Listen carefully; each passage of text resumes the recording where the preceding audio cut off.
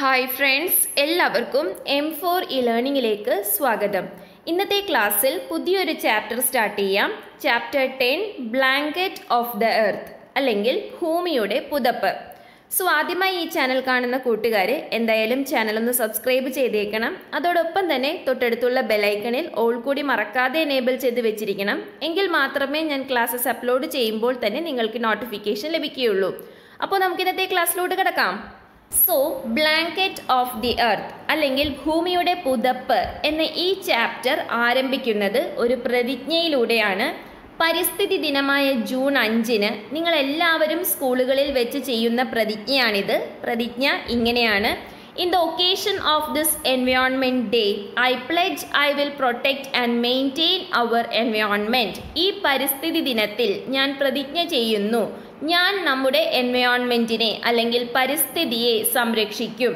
I will plant a sapling this day and nurture it till it grows up ഞാൻ ഇന്ന് ഒരു വൃക്ഷത്തായി നടുകയും അത് വളർന്നു വരുന്നതുവരെ അതിനെ പരിപാലിക്കുകയും ചെയ്യും. Okay so world environment day അല്ലെങ്കിൽ ലോക പരിസ്ഥിതി ദിനം എന്നാണ് ജൂൺ അഞ്ചിനാണ്.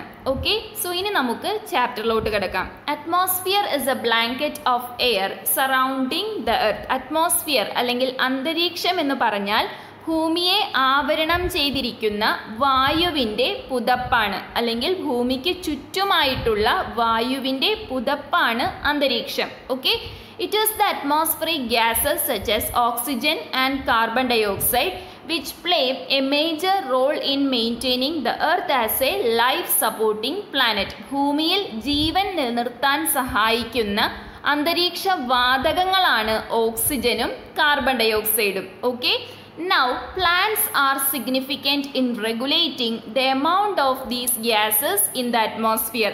അന്തരീക്ഷത്തിൽ ജീവൻ നിലനിർത്താൻ സഹായിക്കുന്ന അന്തരീക്ഷ വാതകങ്ങളായ ഓക്സിജന്റെയും കാർബൺ ഡയോക്സൈഡിന്റെയും അളവ് റെഗുലേറ്റ് ചെയ്യാൻ അല്ലെങ്കിൽ നിയന്ത്രിക്കാൻ സഹായിക്കുന്നത് പ്ലാന്റ്സ് അല്ലെങ്കിൽ സസ്യങ്ങളാണ് okay Now, it is through the process of photosynthesis that plants gather energy for their growth. നമുക്കറിയാം ഫോട്ടോസിന്തസിസ് അല്ലെങ്കിൽ പ്രകാശ സംശ്ലേഷണം വഴിയാണ് പ്ലാന്റ്സ് ആഹാരം പാകം ചെയ്യുന്നത്. അവർക്ക് ആവശ്യമായ ഊർജം ലഭിക്കുന്നത് ഫോട്ടോസിന്തസിസിലൂടെയാണ് okay so in this process plants intake carbon dioxide and gives out oxygen photosynthesis നടക്കുമ്പോൾ പ്ലാന്റ്സ് എന്താ ചെയ്യുന്നത്? കാർബൺ ഡൈ ഓക്സൈഡ് വലിച്ചെടുത്ത് ഓക്സിജനെ അന്തരീക്ഷത്തിലേക്ക് പുറം തള്ളുകയാണ് ചെയ്യുന്നത്. ഓക്കെ സോ ഈ ഓക്സിജൻ മനുഷ്യരും മറ്റ് ജീവജാലകങ്ങൾക്കും ശ്വസിക്കാനായിട്ട് ലഭിക്കും. ഓക്കെ സോ അറ്റ്മോസ്ഫിയർ എന്താണെന്ന് നമ്മൾ പഠിച്ചു. It is a blanket of air surrounding the earth ഭൂമിയെ ആവരണം ചെയ്തിരിക്കുന്ന വായുവിന്റെ പുതപ്പാണ് അന്തരീക്ഷം. ഇനി നമുക്ക് അന്തരീക്ഷത്തിൽ എന്തെല്ലാം അടങ്ങിയിട്ടുണ്ട് എന്ന് പഠിക്കാം. Okay that is atmospheric composition gases moisture and dust particles are the major constituents of our atmosphere that blanket our earth അന്തരീക്ഷത്തിൽ എന്തെല്ലാമാണ് അടങ്ങിയിട്ടുള്ളത്? മെയിനായിട്ടും മൂന്ന് കാര്യങ്ങളാണ് അന്തരീക്ഷത്തിൽ അടങ്ങിയിട്ടുള്ളത്. ഒന്ന് ഗ്യാസസ് അല്ലെങ്കിൽ വാതകങ്ങൾ. പിന്നെ മോയ്സ്ചർ അല്ലെങ്കിൽ ജലാംശം പിന്നെ ഡസ്റ്റ് പാർട്ടിക്കിൾസ് അല്ലെങ്കിൽ പൊടി പടലങ്ങൾ. ഇത് മൂന്നുമാണ് അന്തരീക്ഷത്തിൽ അടങ്ങിയിട്ടുള്ളത്. Okay it is a gravitational attraction of the earth that holds atmosphere close to the earth ഭൂമിക്ക് ചുറ്റും ഈ അന്തരീക്ഷത്തെ പിടിച്ചു നിർത്തുന്നത് എന്താണ്? ഗ്രാവിറ്റേഷണൽ അട്രാക്ഷൻ ഓഫ് എർത്ത് അല്ലെങ്കിൽ ഭൂഗുരുത്വമാണ് ഓക്കെ സോ അന്തരീക്ഷത്തിന്റെ കമ്പോസിഷൻ എന്താണെന്ന് മനസ്സിലായല്ലോ? അതേപോലെ ഭൂമിക്ക് ചുറ്റും ഈ അന്തരീക്ഷത്തെ പുതപ്പ് പോലെ നിലനിർത്താൻ സഹായിക്കുന്നത് ഗ്രാവിറ്റേഷണൽ അട്രാക്ഷൻ ഓഫ് എർത്ത് അല്ലെങ്കിൽ ഭൂഗുരുത്വമാണ് ഓക്കെ സോ അന്തരീക്ഷത്തിന് പ്രധാനമായും മൂന്ന് കോൺസ്റ്റിറ്റുവൻസ് ആണ് ഉള്ളതെന്ന് നമ്മൾ പഠിച്ചു. ഏതൊക്കെയാണ്? Gases moisture and dust particles so ഇനി നമുക്ക് അന്തരീക്ഷത്തിന്റെ ആദ്യത്തെ കോൺസ്റ്റിറ്റ്യുവന്റ് ആയ ഗ്യാസസ് അല്ലെങ്കിൽ അറ്റ്മോസ്ഫറിക് ഗ്യാസസിനെ കുറിച്ച് പഠിക്കാം. അന്തരീക്ഷ വാതകങ്ങൾ അല്ലെങ്കിൽ അറ്റ്മോസ്ഫറിക് ഗ്യാസസ് ഏതൊക്കെയാണ്? അന്തരീക്ഷത്തിൽ കാണപ്പെടുന്ന പ്രധാനപ്പെട്ട രണ്ട് വാതകങ്ങളാണ് നൈട്രജനും ഓക്സിജനും അന്തരീക്ഷ വായുവിന്റെ seventy eight point zero eight percentage nitrogen ആണ്. അന്തരീക്ഷ വായുവിന്റെ twenty point nine five percentage ഓക്സിജനുമാണ് okay ബാക്കി വരുന്നത് അതർ ഗ്യാസസ് ആണ്. അല്ലെങ്കിൽ മറ്റ് വാതകങ്ങൾ. ഇനി നൈട്രജനും ഓക്സിജനും കൂടാതെയുള്ള മറ്റ് വാതകങ്ങൾ ഏതൊക്കെയാണ്? Argon carbon dioxide ozone neon helium krypton hydrogen and xenon ഈ ടേബിളിൽ ഗ്യാസസും അതെന്തോരമാണ് അന്തരീക്ഷത്തിൽ അടങ്ങിയിരിക്കുന്നത് എന്നും കൊടുത്തിട്ടുണ്ട്. സോ ഇതിൽ നിന്ന് നമുക്ക് എന്ത് മനസ്സിലാക്കാം? അന്തരീക്ഷത്തിൽ ഏറ്റവും കൂടുതൽ അടങ്ങിയിരിക്കുന്നത് നൈട്രജനുമാണ്. ഏറ്റവും കുറഞ്ഞടങ്ങിയിരിക്കുന്നത് സീനോൺ ആണ്. ഓക്കെ സോ ഏറ്റവും കൂടുതൽ അന്തരീക്ഷത്തിൽ കാണപ്പെടുന്ന വാതകം നൈട്രജൻ ആണ്. ഏറ്റവും കുറച്ച അളവിൽ അന്തരീക്ഷത്തിൽ കാണപ്പെടുന്നത് സീനോൺ ആണ്. ഓക്കെ സോ ഈ പേഴ്സന്റേജസ് നിങ്ങൾക്ക് പഠിച്ചു വെക്കാൻ പറ്റുമെങ്കിൽ നല്ലതായിരിക്കും. Okay now almost all the gases in our atmosphere support the sustenance of life directly or indirectly. അതായത് നമ്മൾ ആദ്യം പറഞ്ഞു ഓക്സിജനും കാർബൺ ഡൈ ഓക്സൈഡുമാണ് ഭൂമിയിൽ ജീവൻ നിലനിർത്താൻ സഹായിക്കുന്നതിൽ പ്രധാന പങ്ക് വഹിക്കുന്ന അന്തരീക്ഷ വാതകങ്ങളെന്ന് എന്നാൽ അന്തരീക്ഷത്തിൽ അടങ്ങിയിട്ടുള്ള മറ്റെല്ലാ വാതകങ്ങളും നേരിട്ടോ അല്ലാതെയോ ഭൂമിയിൽ ജീവൻ നിലനിർത്താൻ സഹായിക്കുന്നുണ്ട്. Okay? Importance of gases such as oxygen carbon dioxide and nitrogen in the existence of life forms. ഭൂമിയിൽ ജീവൻ നിലനിർത്താൻ ഓക്സിജനും കാർബൺ ഡൈ ഓക്സൈഡും നൈട്രജനും എങ്ങനെയാണ് സഹായിക്കുന്നത് എന്ന് നമുക്ക് നോക്കാം. Plants make use of carbon dioxide for photosynthesis പ്രകാശ സംശ്ലേഷണം അല്ലെങ്കിൽ ഫോട്ടോസിന്തസിസ് സമയത്ത് പ്ലാന്റ്സ് എന്തുപയോഗിക്കുന്നുണ്ട് അന്തരീക്ഷത്തിൽ അടങ്ങിയിട്ടുള്ള കാർബൺ ഡൈ ഓക്സൈഡ് ഉപയോഗിക്കുന്നു. Okay man and other organisms make use of oxygen for respiration photosynthesis സമയത്ത് കാർബൺ ഡൈ ഓക്സൈഡ് വലിച്ചെടുത്ത് പ്ലാന്റ്സ് പുറത്തേക്ക് വിടുന്നത് ഏത് വാതകമാണ്?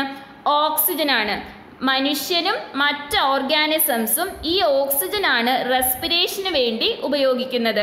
Okay now plants make use of nitrogen for their growth through nitrogen fixation nitrogen fixation എന്ന പ്രോസസ്സിലൂടെ plants nitrogen ഉപയോഗിക്കുന്നുണ്ട് അവരുടെ വളർച്ചയ്ക്ക് വേണ്ടിയിട്ട്. ഓക്കെ സോ ഈ മൂന്ന് കാര്യങ്ങളും ഈ ചിത്രങ്ങളിൽ കൊടുത്തിട്ടുണ്ട്.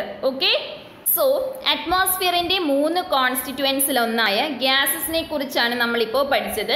ഇനി നമുക്ക് രണ്ടാമത്തെ കോൺസ്റ്റിറ്റുവന്റ് ആയ മോയ്സ്ചർ അല്ലെങ്കിൽ ജലാംശത്തെക്കുറിച്ച് പഠിക്കാം. Okay so water in the atmosphere water molecules are a major constituent in the lower parts of atmosphere atmosphere അല്ലെങ്കിൽ അന്തരീക്ഷത്തിന്റെ ലോവർ പാർട്സിൽ അല്ലെങ്കിൽ താഴെ തട്ടിൽ കാണപ്പെടുന്ന ഒരു മേജർ കോൺസ്റ്റിറ്റുവന്റ് ആണ് വാട്ടർ മോളിക്യൂൾസ് അല്ലെങ്കിൽ ജലാംശം. Water reaches the atmosphere through evaporation and causes cloud formation and rain ജലം എങ്ങനെയാണ് അറ്റ്മോസ്ഫിയറിൽ എത്തുന്നത്?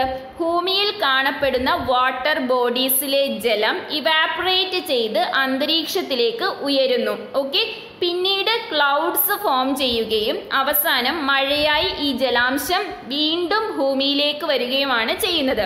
Okay there are spatial and temporal variation in the amount of water present in atmosphere അറ്റ്മോസ്ഫിയറിൽ അല്ലെങ്കിൽ അന്തരീക്ഷത്തിൽ പല സ്ഥലങ്ങളിലും പല എമൗണ്ടിലാണ് വാട്ടർ മോളിക്യൂൾസ് അല്ലെങ്കിൽ ജലാംശം കാണപ്പെടുന്നത്. അതായത് ചില സ്ഥലങ്ങളിൽ കൂടുതലായി ജലാംശം ഉണ്ടാകാം.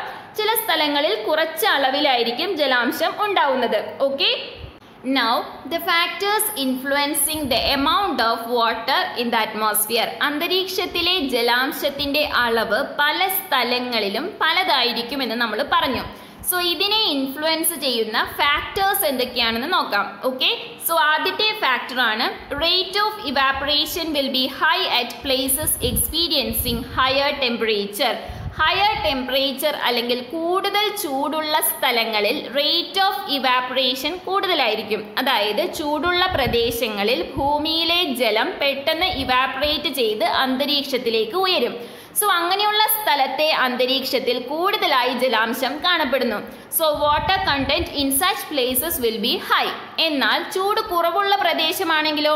നേരെ തിരിച്ചായിരിക്കും. ചൂട് കുറവുള്ള പ്രദേശമാണെങ്കിൽ റേറ്റ് ഓഫ് ഇവാപറേഷൻ കുറവായിരിക്കും. അതുകൊണ്ട് തന്നെ അന്തരീക്ഷത്തിൽ ജലാംശത്തിന്റെ അളവും കുറവായിരിക്കും. ക്ലിയർ ആണല്ലോ. Now the second factor is the amount of water will be high in the atmosphere close to the surface water sources such as oceans rivers and other water bodies surface water sources ആയിട്ടുള്ള ഓഷ്യൻസിന്റെയും റിവേഴ്സിന്റെയും മറ്റ് water ബോഡീസിന്റെയും അടുത്തുള്ള അന്തരീക്ഷത്തിൽ കൂടുതലായി ജലാംശം കാണപ്പെടുന്നു. എന്തുകൊണ്ടായിരിക്കും ഈ വാട്ടർ ബോഡീസിലെ ജലം ഇവാപ്പറേറ്റ് ചെയ്ത് അന്തരീക്ഷത്തിലേക്ക് ഉയരും അല്ലേ? സോ അതുകൊണ്ട് തന്നെ അങ്ങനെയുള്ള പ്രദേശത്ത് ജലാംശം കൂടുതലായിരിക്കും. മനസ്സിലായല്ലോ? സോ ഇനി നമുക്ക് രണ്ട് ആക്ടിവിറ്റീസ് നോക്കാം. ആദ്യത്തെ ആക്ടിവിറ്റി ഇതാണ്. Observe the places marked as A and B in the figure which among these places have higher amount of atmospheric water and why so ഇവിടെ ഈ ഫിഗറിൽ രണ്ട് പ്ലേസസ് മാർക്ക് ചെയ്തിട്ടുണ്ട്. എയും ബിയും എ എന്ന് പറയുന്ന പ്ലേസിന്റെ പ്രത്യേകത എന്താണ്? സീറോ ഡിഗ്രി ലാറ്റിറ്റ്യൂഡിന്റെ അടുത്തായിട്ടാണ് എ എന്ന് പറയുന്ന പ്ലേസ് അതായത് ഇക്വേറ്റർ ആണ് സീറോ ഡിഗ്രി ലാറ്റിറ്റ്യൂഡ് ഇക്വേറ്റർ അല്ലെങ്കിൽ ഭൂമധ്യരേഖയ്ക്ക് അടുത്തുള്ള പ്രദേശമാണ് എ. എന്നാൽ നോർത്ത് പോളിന്റെ അടുത്താണ് ബി എന്ന് പറയുന്ന പ്ലേസ് ഉള്ളത്. സോ ഇവിടെ ഏത് പ്രദേശത്തായിരിക്കും ചൂട് കൂടുതൽ ഇക്വേറ്റർ അല്ലെങ്കിൽ ഭൂമധ്യരേഖയ്ക്ക് അടുത്തായിട്ടുള്ള പ്രദേശത്താണ് ചൂട് കൂടുതൽ. ചൂട് കൂടുമ്പോൾ റേറ്റ് ഓഫ് ഇവാപ്രേഷൻ കൂടുതലായിരിക്കും. അങ്ങനെയുള്ള സ്ഥലങ്ങളിലായിരിക്കും അറ്റ്മോസ്ഫിയറിൽ ജലാംശവും കൂടുതലുള്ളത്. സോ നമ്മുടെ ആൻസർ ഏതാണ്? പ്ലേസ് എ ആണ്. പ്ലേസ് എയിലായിരിക്കും കൂടുതൽ ജലാംശം അറ്റ്മോസ്ഫിയറിൽ കാണപ്പെടുന്നത്. റീസൺ എന്താണ്? പ്ലേസ് എയ്ക്കാണ് കൂടുതൽ ടെമ്പറേച്ചർ അതുകൊണ്ട് തന്നെ റേറ്റ് ഓഫ് ഇവാപ്പറേഷൻ പ്ലേസ് എയിൽ കൂടുതലായിരിക്കും. മനസ്സിലായല്ലോ? ഇനി നമുക്ക് സെക്കൻഡ് ആക്ടിവിറ്റി നോക്കാം. ആക്ടിവിറ്റി ഇതാണ് two places in India are marked in the figure which among these places have higher amount of atmospheric water and why so ഇവിടെ ഇന്ത്യയുടെ മാപ്പിൽ രണ്ട് പ്ലേസസ് മാർക്ക് ചെയ്തിട്ടുണ്ട്. ഒന്ന് തിരുവനന്തപുരമാണ് മറ്റൊന്ന് ഡൽഹിയാണ്. സോ ഈ രണ്ട് പ്ലേസസിലും എവിടെയായിരിക്കും അറ്റ്മോസ്ഫിയറിൽ ജലത്തിന്റെ അളവ് കൂടുതൽ എവിടെയായിരിക്കും? തിരുവനന്തപുരത്തായിരിക്കും. കാരണം എന്താണ്? തിരുവനന്തപുരം എന്ന് പറയുന്ന പ്ലേസിന്റെ അടുത്തായിട്ട് സർഫസ് വാട്ടർ ബോഡീസ് കാണാം. എന്നാൽ ഡൽഹിക്ക് ചുറ്റും ലാൻഡ് ഏരിയ ആണ് വാട്ടർ ബോഡീസ് ഒന്നും കാണുന്നില്ല. സോ തിരുവനന്തപുരത്തിന് ചുറ്റും വാട്ടർ ബോഡീസ് കൂടുതലായതുകൊണ്ട് അവിടെ റേറ്റ് ഓഫ് ഇവാപ്പറേഷൻ കൂടുതലായിരിക്കും. അതുകൊണ്ട് തന്നെ അറ്റ്മോസ്ഫിയറിൽ ജലത്തിന്റെ അളവും കൂടുതലായിരിക്കും. മനസ്സിലായല്ലോ? രണ്ട് ആക്ടിവിറ്റീസും ക്ലിയർ ആണല്ലോ? സോ ഇപ്പം നമ്മൾ അറ്റ്മോസ്ഫിയറിന്റെ രണ്ട് കോൺസ്റ്റിറ്റുവൻസിനെ കുറിച്ച് പഠിച്ചു. ഇനി നമുക്ക് മൂന്നാമത്തെ കോൺസ്റ്റിറ്റുവന്റ് ആയിട്ടുള്ള ഡസ്റ്റ് പാർട്ടിക്കിൾസ് അല്ലെങ്കിൽ പൊടി പടലങ്ങളെ കുറിച്ച് പഠിക്കാം. Okay Other than gases and water content, dust particles also form a part of atmosphere. ഗ്യാസസും വാട്ടർ കണ്ടന്റും കൂടാതെ ഡസ്റ്റ് പാർട്ടിക്കിൾസും അറ്റ്മോസ്ഫിയറിന്റെ ഒരു പാർട്ടാണ് okay the main source of dust particles to the atmosphere are അതായത് അറ്റ്മോസ്ഫിയറിൽ എവിടെ നിന്നാണ് ഈ ഡസ്റ്റ് പാർട്ടിക്കിൾസ് വരുന്നത്? അതിന്റെ സോഴ്സസ് ഏതൊക്കെയാണ്? ഒരുപാട് സോഴ്സസ് ഡസ്റ്റ് പാർട്ടിക്കിൾസിനുണ്ട് അതിൽ ചിലത് നമ്മൾ പഠിച്ചു വെക്കണം. ഓക്കെ ആദ്യത്തേത് dust particles brought to the atmosphere by wind. കാറ്റ് കൊണ്ടുവരുന്ന ഡസ്റ്റ് പാർട്ടിക്കിൾസ് ആണ് ആദ്യത്തേത്. രണ്ടാമത്തേത് dust particles erupted through volcanoes. Volcanic eruption സംഭവിക്കുന്ന സമയത്ത് വരുന്ന പുകയും ഡസ്റ്റുമാണ് മറ്റൊരു സോഴ്സ്. ഓക്കെ? മൂന്നാമത്തേത് ash formed by burning meteors. Meteors burn ചെയ്യുന്ന സമയത്ത് ഫോം ചെയ്യുന്ന ആഷ്. പിന്നെ ഫ്രം ഓട്ടോമൊബൈൽസ് ഓട്ടോമൊബൈൽസിൽ നിന്നും ഡസ്റ്റ് പാർട്ടിക്കിൾസ് പുറന്തള്ളുന്നുണ്ട്. അതേപോലെ ഇൻഡസ്ട്രിയൽ എമിഷൻസ് ഇൻഡസ്ട്രീസിൽ നിന്നും പുറത്തേക്ക് വരുന്ന പുകയിലും എന്തുണ്ടാവും? ഡസ്റ്റ് പാർട്ടിക്കിൾസ് ഉണ്ടായിരിക്കും. സോ ഇങ്ങനെ ഒരുപാട് സോഴ്സസ് ഉണ്ട് ഡെസ് പാർട്ടിക്കിൾസിന് ഓക്കെ സോ ഇത്രയെങ്കിലും നിങ്ങൾ പഠിച്ചു വെക്കണം. ഓക്കെ സോ ഗ്യാസസും വാട്ടറും കൂടാതെ അന്തരീക്ഷത്തിലുള്ള മറ്റൊരു കോൺസ്റ്റിറ്റ്യുവന്റ് ആണ് ഡെസ് പാർട്ടിക്കിൾസ് അല്ലെങ്കിൽ പൊടി പടലം. ഓക്കെ അതേപോലെ നമ്മൾ പറഞ്ഞു മീറ്റിയോർസ് ബേൺ ചെയ്യുമ്പോൾ ഫോം ചെയ്യുന്ന ആഷ് ഡസ്റ്റ് പാർട്ടിക്കിൾസിന്റെ ഒരു സോഴ്സ് ആണെന്ന്. ഓക്കെ സോ ഈ മീറ്റിയോർസ് എന്താണ്? ഉൽക്കകളാണ് മീറ്റിയോർസ് ആകാശത്ത് നിന്നും വീഴുന്ന ഉൽക്കകളെയാണ് മീറ്റിയോർസ് എന്ന് പറയുന്നത്. മീറ്റിയോർസ് അന്തരീക്ഷത്തിൽ പ്രവേശിക്കുമ്പോൾ അന്തരീക്ഷവുമായി ഉരസി കത്തും. സോ ഇങ്ങനെ കത്തുന്ന സമയത്തുണ്ടാവുന്ന ചാരം ഡസ്റ്റ് പാർട്ടിക്കിൾസിന്റെ ഒരു സോഴ്സ് ആണ്. ഓക്കെ മനസ്സിലായല്ലോ? സോ ഇനി നമുക്ക് ഒരു ക്വസ്റ്റ്യൻ നോക്കാം. ചോദ്യം ഇതാണ്.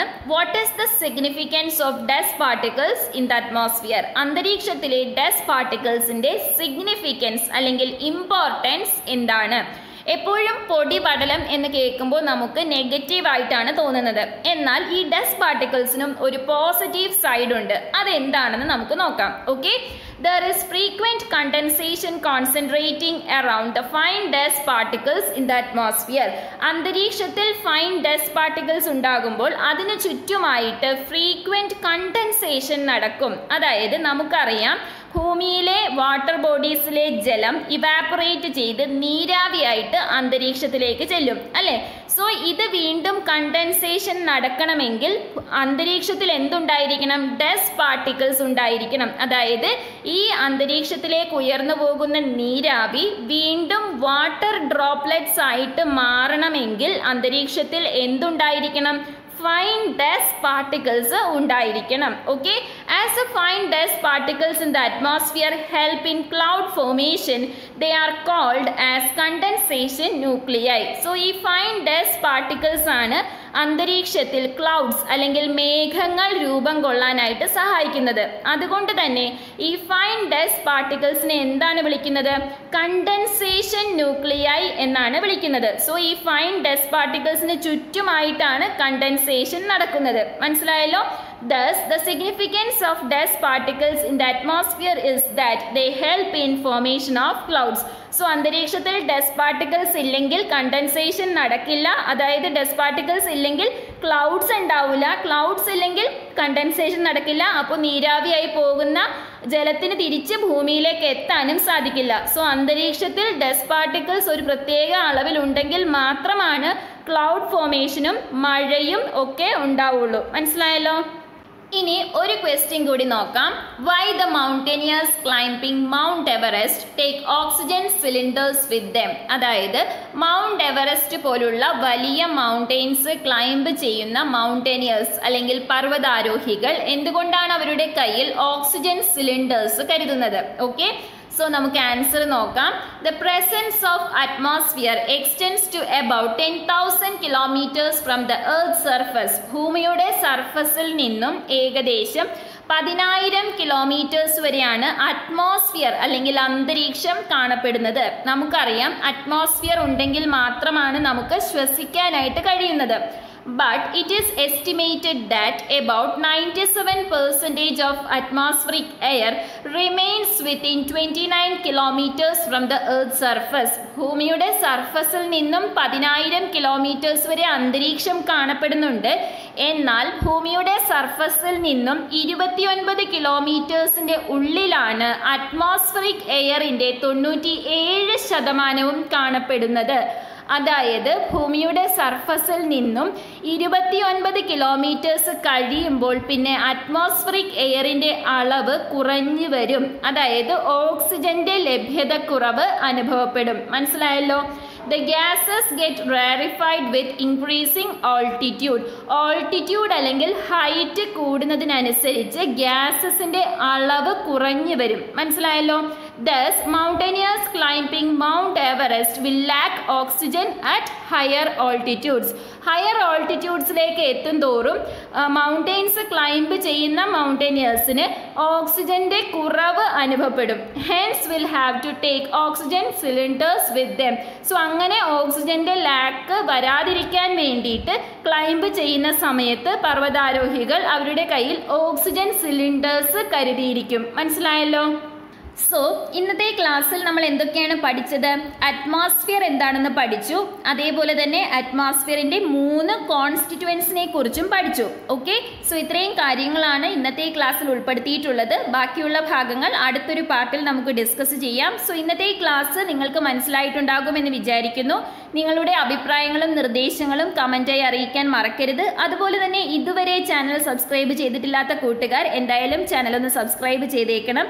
അതോടൊപ്പം തന്നെ വീഡിയോയുടെ ലിങ്ക് നിങ്ങളുടെ ഫ്രണ്ട്സിന് ഷെയർ ചെയ്ത് കൊടുക്കാനും മറക്കരുത്. സോ അടുത്ത ക്ലാസ്സിൽ കാണുന്നത് വരെ താങ്ക് ഫ്രണ്ട്സ്